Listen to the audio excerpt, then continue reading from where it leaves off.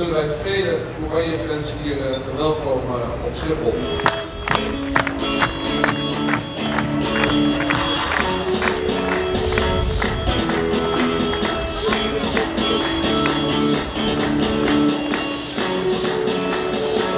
Heb je zin in het EK? Ik denk dat we met z'n allen eigenlijk al, ik denk nu een maand, geen voetbal zien op tv.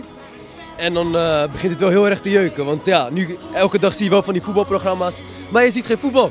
Dus ja, ik heb er heel erg zin in. Ik heb uh, mijn zestiende heb ik een rugoperatie gehad.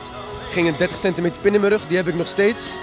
En uh, ik kan nu gewoon alles hoor. Maar ik mocht toen een jaar lang niet competitief voetballen. Maar wel een balletje hoog houden. En toen dacht ik van, wow, verrekt, ik kan hier best wel meer mee gaan doen. En toen had ik een, ja, 10 miljoen hits op YouTube. En toen dacht ik van, ja, dit is mijn roeping.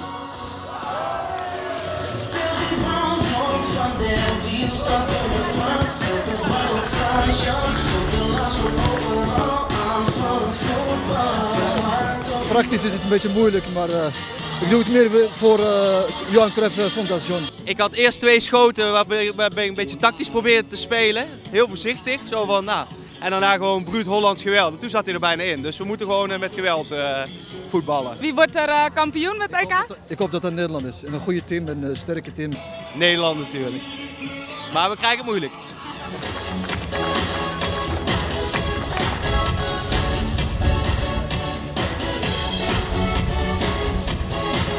Ik heb een déjà vu gevoel, dus ik denk dat ik niet meer hoef te zeggen. 88, ja, Nederland.